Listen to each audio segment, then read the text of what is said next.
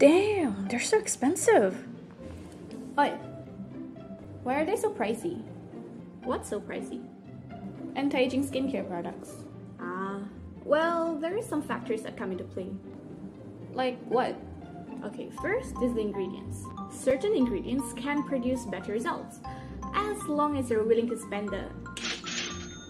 These ingredients will either repair or deeply moisturize your skin, and if not developed properly, it can actually cause reactions or be unstable. Oh? Yeah, which takes us to factor number two, the development process. When a company does its own research and development, or R&D, the end product will of course cost more than a brand who buys the new product ready-made. And R&D takes a long time, which means higher cost and more expensive products, right? That's absolutely correct.